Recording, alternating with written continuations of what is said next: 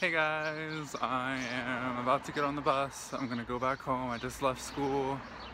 Um, and I'm just gonna show you how it is to be on the bus in Macedonia. To get back to where I live in Volkovo, my village in Skopje, I have to go to City Mall and catch a bus. It's one of the most busy uh, bus stations in Skopje. It has a lot of buses that go through it. It's a transportation hub, I guess you would say, in Skopje City, and it gets very busy and it's a very nice place to catch a bus. I am now walking up to the bus stop. I'm going to try to walk, talk less so I don't freak everyone out because uh, what happened. so I'll keep you updated.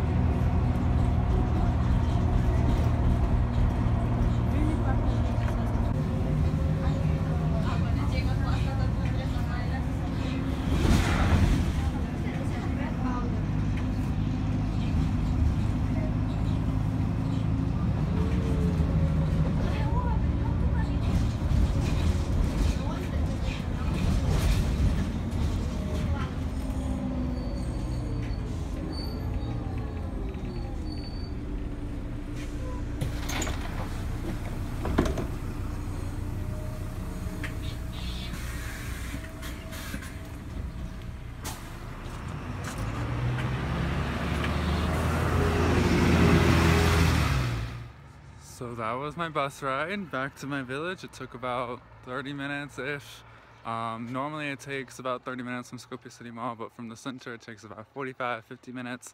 Um, and depending upon the commute, and the commuting hours, um, it gets emptier or a lot more busy and it's uh, almost impossible to walk on the bus. But today it was very busy, uh, very not busy and it was really, really enjoyable. So I hope you enjoyed that little entrance into Skopje City transportation systems.